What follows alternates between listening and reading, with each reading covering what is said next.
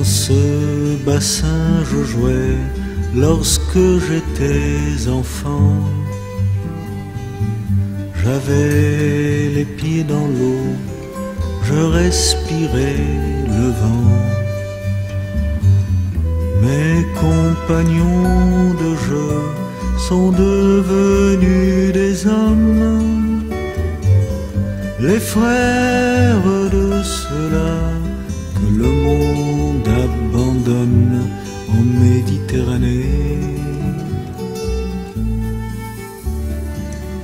Le ciel est endeuillé par-dessus l'acropole.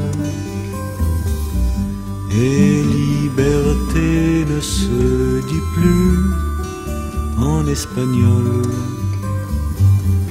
On peut toujours rêver d'Athènes et Barcelone.